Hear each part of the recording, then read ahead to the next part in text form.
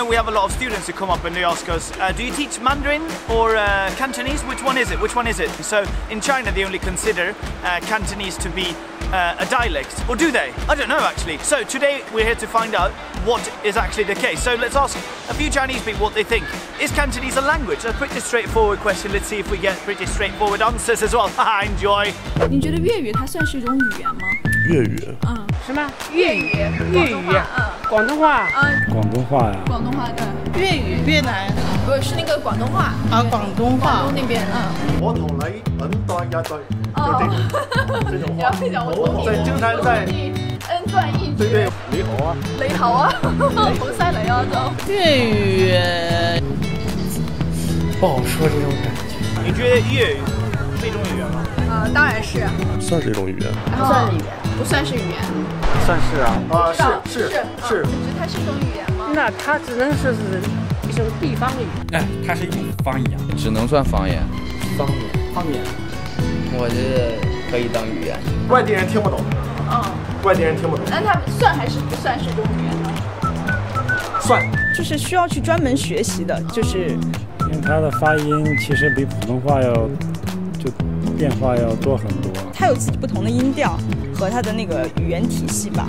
它有自成独立的语言体系，然后迥异于普通话的发音，再加上地方使用的其实人字很多，它在海外的使用频率也非常多。国际方面的交流，它是啊，也就是说它被大众所认可。中国古代就是粤语。古代人说的都是粤语。很多地方招聘职员的时候，有有可能会对啊粤语提出要求。有时候有些单位也会希望啊职员会讲上海话一样的，对。这都是一种语言。中国这个就南北方这个语言差异很大的，嗯，它听起来其实跟粤语的感觉都差不多，嗯，就是觉得虽然所以说像是方言，不能成为说是一种语言，因为它是。属于中国话的一种，四川呢也也不是讲，一般都是讲那种方言。